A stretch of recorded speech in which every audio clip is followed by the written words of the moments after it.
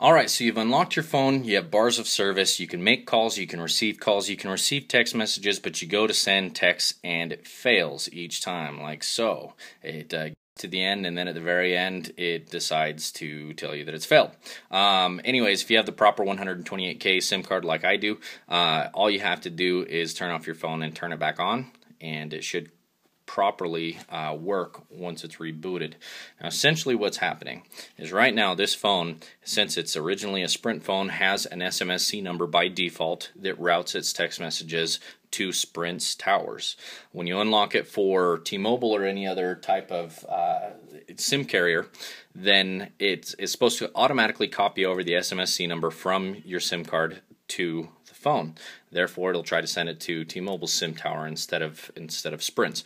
Now, in this case, sometimes you pop it in and it just doesn't copy over for whatever reason. So if you turn your phone off and then you turn it back on, give it another opportunity to recopy.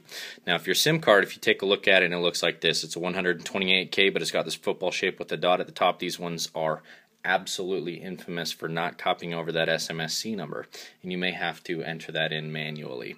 Uh, I do recommend before anything, though, that you uh, make an appointment to go into your T-Mobile store and get the proper 128K that I showed you at the beginning of the video. Um, these ones, for whatever reason, if you're having the same issue and you're looking at your SIM card and you're seeing that it's the exact same one, uh, that's the reason why. That SMSC number, for whatever reason, when you unlock it for 5.1.1, just doesn't transfer over. To avoid that altogether, just go and get the right SIM card. Uh, but first, again, try rebooting it and see if that works for you. And then uh, let's see, let's go into the phone here and we'll see if we can send a text as soon as this, uh, as soon as this allows us to. We'll give it just a moment.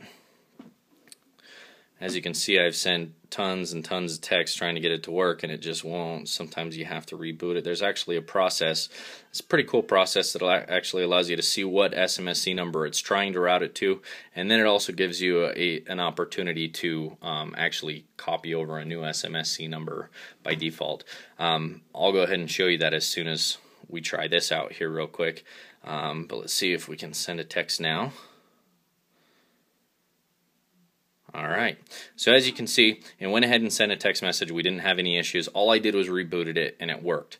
Um, if you reboot it a few times and you can't get it to work, then you may need to go in and edit your SMSC number. Let's go ahead and take a look now. T-Mobile's original SMSC number starts with a 02, or excuse me, a 1206. So let's see what that what it shows here. The way that you check is you go into your dialer and you dial star, and then you dial pound 5005 then you're going to do another star. Then you're going to type in 7672 and then pound, just like this.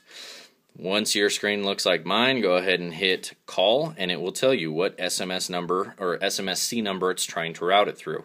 This one right here, we know the uh, plus 1206 3130004 is T-Mobile's. Um, if you're getting a plus 7, that's the wrong one. So you're going to go have to go ahead and edit it. And the way that we do that is by uh, typing in star star 5005 just like before. So star star 5005 and then star again and then we're going to do 7 whoops 7672 like before and then we'll do a star here and then you're going to type in the SMS no the SMSC number that you want to copy over.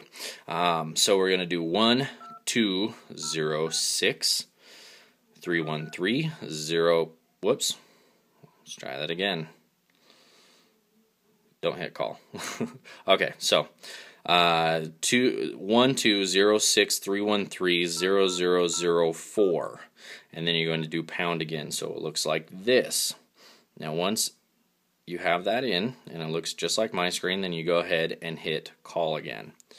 Now you'll see it says setting succeeded, service center address no address. This means that it properly copied over that um, the SMSC number, and you should be able to send text messages now. Sometimes it does take a minute for text messages to kick in and start working, um, but it should. And uh, this is actually just kind of a temporary uh, fix because your phone won't always um, try and send through this uh, SMSC number it will try to go back to default. Um, sometimes it'll last for a day or two and then it will go back. So just use this as kind of a temporary way of sending text messages um, until you can go in and get a new SIM card. Again, don't get one that looks like this. Get one that looks like, Uh, let me go ahead and pop this out for you.